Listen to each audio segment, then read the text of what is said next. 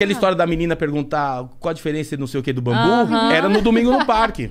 Foi no domingo no parque. Esse programa Qual a é... diferença do. Como é que era? Qual a diferença? Ah, não sei, a benga... sei lá, o importa Entre é o poste e o bambu, não é? Não, é- são, são, três, são três coisas a que aí... mulher- A mulher poste- grávida. A mulher gra... A mulher grávida. Qual a o semelhança da mulher grávida do poste e o bambu? É, Não sei o quê. a mulher que a mulher grávida- grávida do poste dá uma luz. poste- É. E o bambu? É, sei. Fia no seu... Ela teve a audácia de falar É. isso pro Silvio, velho. eu, eu acho que era em preto e branco, ainda não lembro, mas é, esse programa do Domingo no Parque já existia. Eu, eu cresci assistindo o programa, o programa já existia. Você não fica imaginando a. Porque assim, naquele segundo entre a criança fazer a piada e o Silvio perguntar e o bambu, Ah. pra ela responder, quando ela começou, a mãe já sabia onde ela ia terminar. porque a mãe Sabe. conhecia a É. piada, Com entendeu? Então a mãe tava assim: não fala, não fala, não fala. não, não. É, pode ser mesmo, né? Mas a menina foi muito corajosa. é, acho que foi a inocência da criança, de tipo, Não sabe nem o que é no É, seu cu. Nem é. sabe o que é. Acho que al- alguém contou, Alguém todo mundo deu contou, risada. ele Ela, ah, deve que- ser É. legal. Eu lembro que eu não, eu não sabia o que era também. Eu nunca tinha ouvido o Vai Tomar no Cu, nada disso. e aí, com uns quatro anos, a primeira vez que eu ouvi, eu tinha mudado pra Salvador com a minha família. E eu lembro perfeitamente que eu cheguei da escola e ouvi alguém falando aqui, vai tomar no cu, alguma coisa assim. E eu cheguei em casa e falei, gente, aqui na Bahia, cu é palavrão.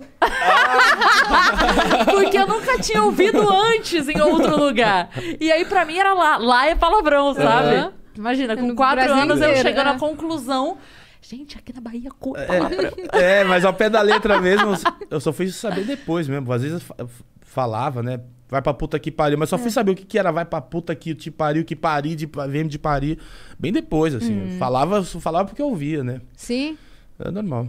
E aí você fez o domingo no parque. Sim, isso. Aí paramos no domingo no parque. Aí do domingo do parque, como a gente, eu tava todo domingo, eu já fazia show, assim, solo. Faz- Caramba, que já História. era. É, não, é- não era febre, mas assim, eu era um- o cara do domingo no parque que as crianças, todo mundo, né, as crianças assistiam. Então eu fazia Com muito quantos interior. anos isso? Eu já tinha uns cinco, mais ou Hum. menos. Ah, Cinco eu ou seis, não, seis. eu já tinha uns cinco. Eu já tinha uns Já- seis anos, mais ou Eu menos, com super cinco experiente. anos. E aí, Já não, era comendo mais, sabão. já não era mais uma criança não, de já- quatro minha anos. experiência de palco já. E você já viajava fazendo show. Já, cara, meu, eu fazia, eu fazia ginásio. Tinha a caravana do Chacrin. Não, caravana do Raul Gil. eu Fazia a caravana do Raul Gil, que era eu, o Raul Gil e um monte de artista. Cara, e que ele me loucura! chamava pra ir junto. Ah, eu também participava dos programas do Raul Gil, aquele de pergunta e resposta pra criança. Sim. Que Sei. criança faz aos adultos, assim, meu, aí. ô, A aos primeira, adultos, o aos primeiro artistas. que teve disso daí, né? Tá. Do Raul Gil. É, acho que foi o primeiro mesmo. Uma pergunta, enfim, idiota, mas nessa época você é, viajava, sua mãe ia Já junto. sempre, sim. Tá, e, mas já, já tinha, tipo, cachê? Você já era um artista. Eu não lembro se tinha cachê, porque eu, eu não ligava, assim, não via. Mas eu lembro, assim, de cenas, a gente. Eu, eu, eu minha mãe, eu, minha mãe, o Raul Gil dirigindo, Landauer, tinha gente atrás, que a gente, ele colocava, me, me colocava pra ir no carro com ele, porque acho que era criança, e o ônibus dos artistas devia ser uma zona. E aí eu lembro dele parar no pedágio, viu, eu vou falar no meu programa, viu, tem um caminhão lá todo apagado lá, umas coisas assim. eu, eu lembro que era pequeno. Aí eu lembro disso.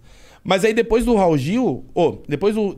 Nesse meio tempo, a, o- a gravadora BMG fez um disco do Bozo, que era do SBT também, meio com a- e me chamou pra participar de, um, de uma música do Clube do Bozo. Tá. Hum. E passou mais uns cinco meses me chamaram pra participar do disco da do Patrícia Luciano, que tava fazendo o Clube da Criança.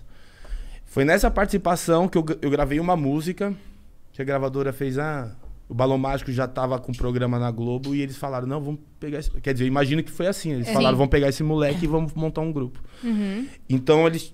Da Patrícia Luciano e me colocaram e formou o Treino Alegria assim. Eu, tanto que eu só participei do coro no- nesse primeiro disco. É, e dessa minha música solo, porque eu só ia fazer participação. E eles me colocaram no grupo e falaram, agora você canta aí. E é assim que formou mesmo, Alegria. Então não veio meio muito do nada, não. Eu já, já tinha minha experiência de Sim, é, já tinha muitos anos de estrada Já e... tinha dois, dois anos de estrada. E, e